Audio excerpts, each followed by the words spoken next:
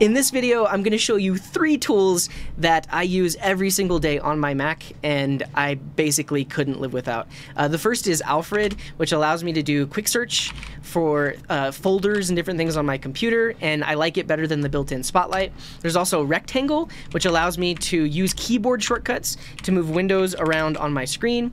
And then the last one is Alt-Tab, uh, which allows me to switch between my windows and shows me a full window preview. Um, now, I know a lot of these features are built into other operating systems. They're not built into a Mac, and these are the preferred apps I like to use to get those features. So in this video, I'm going to describe these tools and show you some of the settings and how I set them up. On a Mac, there are no built-in keyboard shortcuts for arranging windows on a screen. Now, I know you might be on Windows and you're like, oh, that's built into Windows, or you might be on some Linux distribution and you're like, oh, that's built in. It's not built on a Mac built in on a Mac, so we need an app for it. And the app that I prefer for that is called Rectangle.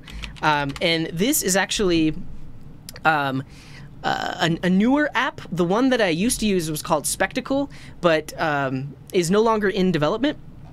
Rectangle uh, gets frequent updates and is still in active development. But let's go ahead and install it with Brew. So if I do Brew, Brew install Rectangle, yeah, so there's a, there's a lot of other tools. So there's like Magnet. Uh, some people are mentioning, yeah. So in the chat, mention things you use to manage Windows on a Mac. Yabai? Never heard of Yabai. Moo Amethyst. Never heard of Amethyst. Frank Frank just uses his mouse. Frank just goes like this, which is fine. It's totally fine. oh, Better Touch Tool. That's another one. Yeah. Power Toys? I do not have a Mac. Yeah. So there's like for a lot of these things that I'm going to be installing, there are other alternatives. The ones that I'm showing you are the ones that have worked for me. So I'm just going to keep using them for the most part. Okay, so we've installed Rectangle. Uh, let's launch it. Uh, we will have to give it accessibility permissions. So because it's moving windows on our screen, um, we specifically need to give it permission to do that. So I need to go in, click this lock, type my password, and then give it accessibility permissions. If I check this box, now Rectangle has accessibility permissions.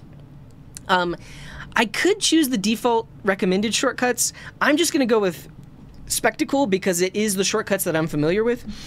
I'm not sure how different the spectacle spectacle shortcuts are from Rectangle, but you can see here, these are all of the built-in shortcuts. So I believe this is Option, command option and command left, option command right, etc. But watch this. Boom, left half of the screen. Boom, right half of the screen. Top, bottom, left uh left corner, right corner, left bottom corner, right bottom corner. Uh, take that, put it in the center. So uh, it has all of those shortcuts, so I can just uh, move move things around on my screen. And I've been using it for so long, or I use uh, Spectacle for a really long time, and now I'm using Rectangle. It's the same keyboard shortcuts that I have all of those memorized. So if you click on it, you can actually see what the shortcuts are. You can also just uh, choose a specific one, and it will move it in that direction. But this is a lifesaver. It's one of my one of my favorite uh, window management apps. That is Rectangle. Uh, the other productivity app I like to use is called Alt Tab. So again, people are going to say, Windows does that by default, or my Linux OS can do that, but a Mac can't. So on a Mac, when you press uh, Command Tab, which is the way to switch between applications, it only shows the application icon. Um, and I like to be able to see a preview of the app before I switch to it.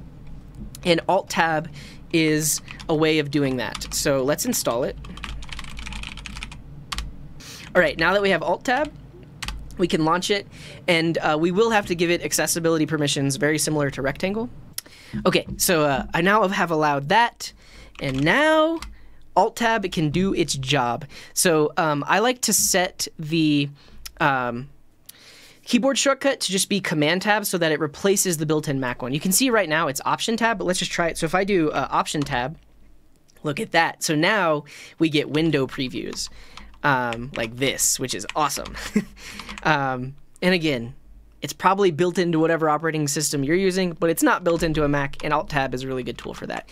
I've used other apps in the past, so Hyperswitch is one that I used.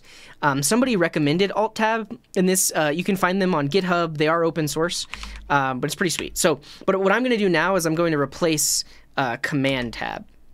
So now when I do Command Tab, uh, it, it shows me the window pre- previews instead of having to do uh, alt tab. no, I, I understand Goofer. It's just a lot of a lot of people will usually be in the YouTube comments and be like, "Oh, this dude just spent an hour setting up all this stuff I can already do on my computer."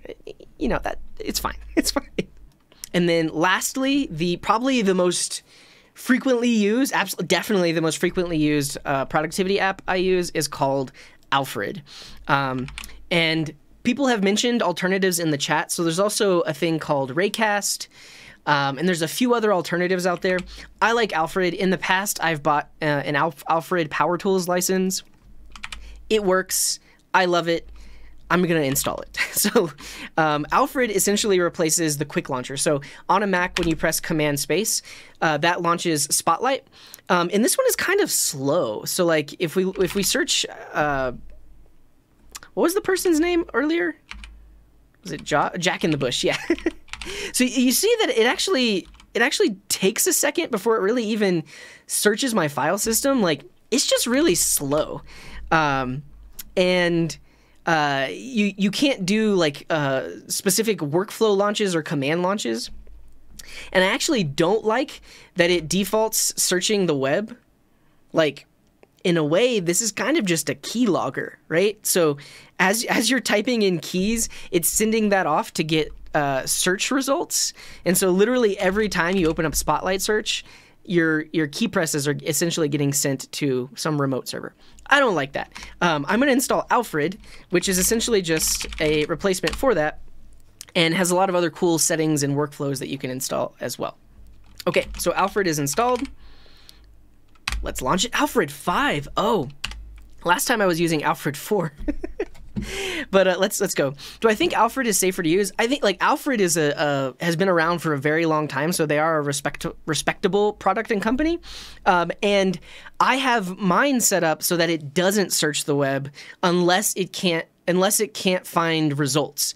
So if I type something in that's not found, then yeah, that will potentially do a web search. But actually, it doesn't even do the web search embedded. It, it will actually launch um, your browser with the search term, which which is fine.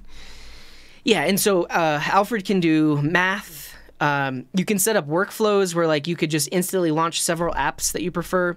I also like that it has um, you can more fine finely tune what shows up in the search results. So here we go. Um, I don't have an Alfred license. I'll, I'll, I'll get it later and then install it. Um, but let's uh, set up all of the settings and permissions real quick. Okay, so I've set up all the permissions, uh, and now Alfred setup is complete. Um, and then let's start it. Um, I don't store contacts on my Mac, so I'm just not even going to allow contact access. And then here you can see the Alfred settings. So by default, the way to pull it up is option space. And then uh, now if I search for Jack, it doesn't send my my key presses somewhere. I can specifically say, "Oh, go search Google for that or search Amazon."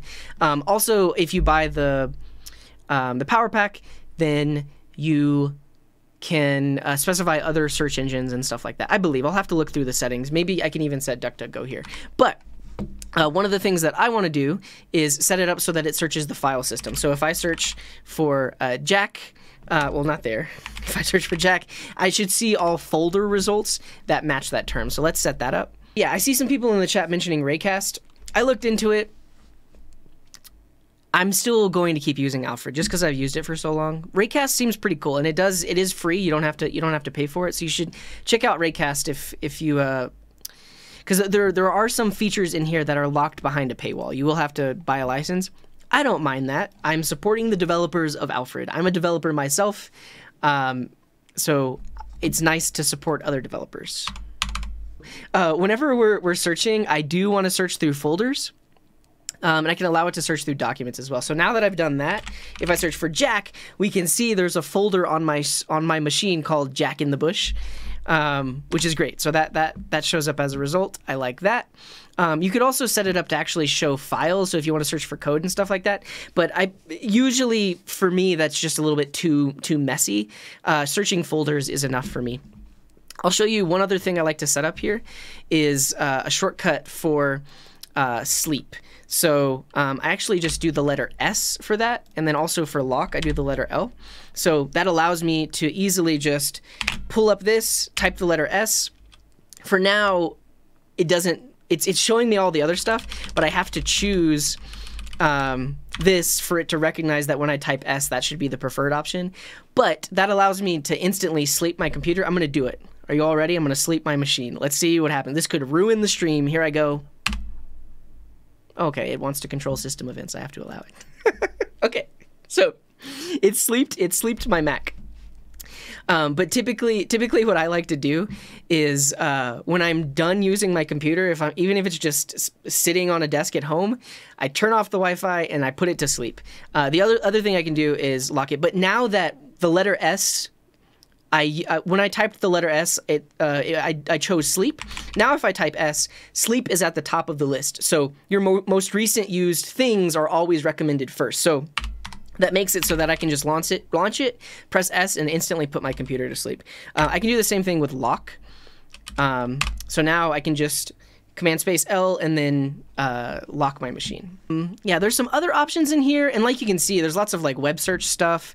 I'm actually going to disable all of this Google stuff and then see if DuckDuckGo shows up as an option. I've never actually set this up. Cool. So now that I've only uh, searched for, or I've only checked DuckDuckGo, let's see what happens when I search for something. Oh, not that. Uh, this. When I search for something that isn't there. No, so I think these quick actions are actually specified elsewhere. So uh, Verno Moe, Moe is or Mo is asking is saying, if I go to default results, and then set up fallback results. Yeah, okay, so that's what I thought.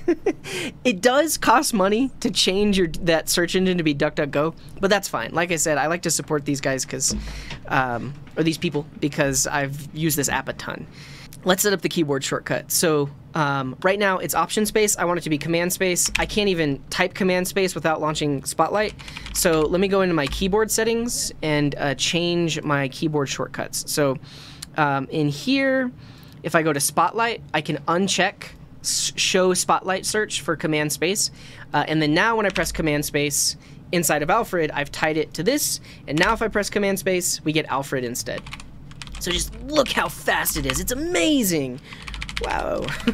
um, and also, uh, I like that it has this built-in feature. So if you type something and then press Command L, it instantly blows up that text. So this is a really cool feature for like uh, if you're a presenter and if you ever are like you want to type in a URL. So if you go to coding.garden/support, you can find various ways of supporting me. Awesome. Okay. Um, yeah, I mean, and that's the thing, one computer guy. Like, folder search is probably the most common thing I use it for. Like, I mean, I mean, right now there's no data on this computer, but if I'm searching for a specific folder in pictures or documents, it launches it really easy. Um, yeah, and, and so I haven't tried Raycast. Again, I'll leave this in the video because I know a lot of people are recommending it. Try Raycast. Leave a comment in the in the in. Leave a comment down below if you like it. Tell me why you like it better. I prefer Alfred like I said, all of these tools have alternatives. Uh, there, are, there are different things you could use and could install. Um, these are the ones that I prefer, but if you prefer other tools, pil- flee, please feel free to throw a comment uh, down below and uh, let us know what tools you prefer and why. Thank you for watching this, uh, and we'll see you in the next one. I'm, I'm leaving that, that, that, that speech flub in there. Yeah, I'm keeping it. Words are hard.